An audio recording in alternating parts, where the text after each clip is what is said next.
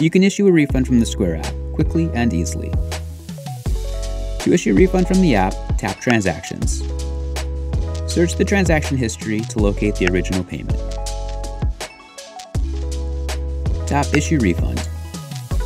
Tap Select All items to refund the entire sale.